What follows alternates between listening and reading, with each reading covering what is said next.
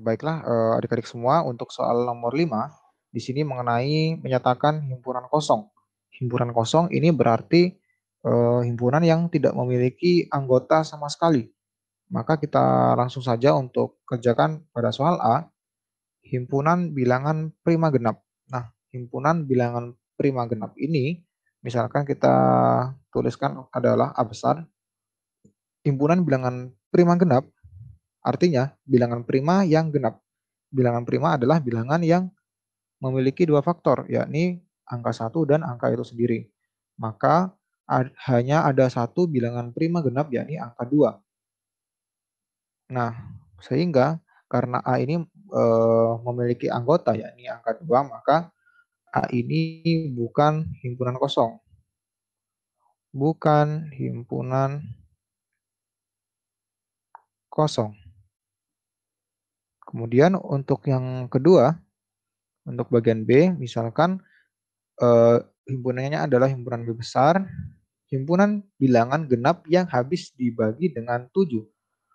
Kira-kira apakah ada anggotanya? Maka kita lihat eh, kelipatan dari 7, artinya di sini habis dibagi 7, ini adalah artinya kelipatan dari 7 yang merupakan bilangan genap. Tentunya sangat banyak eh, bilangan genap yang habis dibagi 7 atau kelipatannya. Contohnya adalah 14, kemudian ada juga 28 atau ada juga 42. Ini adalah contoh-contoh bilangan genap yang habis dibagi 7 dan seterusnya.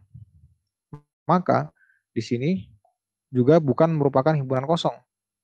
Bukan himpunan kosong karena masih memiliki anggota. Nah, selanjutnya yang C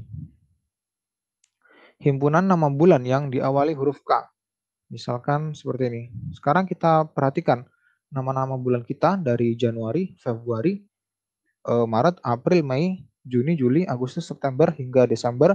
Apakah eh, huruf pertamanya adalah huruf ada yang memiliki huruf K? Ternyata tidak ada. Jadi himpunan eh, C ini merupakan himpunan kosong karena tidak memiliki anggota. Karena kita ketahui bahwa bulan-bulan kita, nama bulan kita, itu tidak ada yang diawali dengan huruf K. Himpunan kosong. Nah, kemudian untuk soal yang D, nah karena di sini eh, dinyatakan dalam bentuk persamaan, maka kita selesaikan terlebih dahulu persamaannya. X min 4 sama dengan min 8. Artinya X sama dengan min 8 plus 4 maka nilai X itu hanyalah minus 4. Nilai X harusnya adalah minus 4, kemudian di sini dinyatakan bahwa A adalah suatu bilangan X di mana memenuhi persamaan ini atau kita sebut uh, hasilkan tadi X min 4, kemudian X ini merupakan uh, himpunan bilangan asli. Nah, himpunan bilangan asli itu merupakan uh, himpunan bilangan yang dimulai dimulai dari angka 1 atau positif maka uh, minus 4 ini bukan merupakan bilangan asli. Maka kita tulis bahwa D ini merupakan himpunan kosong.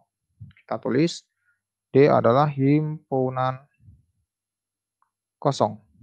Karena tidak memenuhi uh, semua syarat.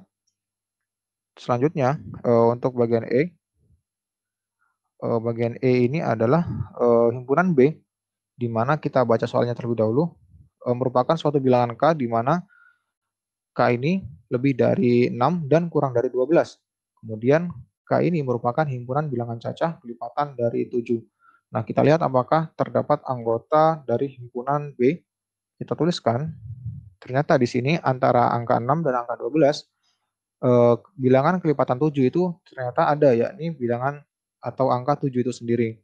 Maka di sini dapat kita simpulkan bahwa bilangan himpunan B ini bukan merupakan bukan merupakan himpunan kosong. Nah, maka ini adalah semua jawaban untuk soal nomor 5.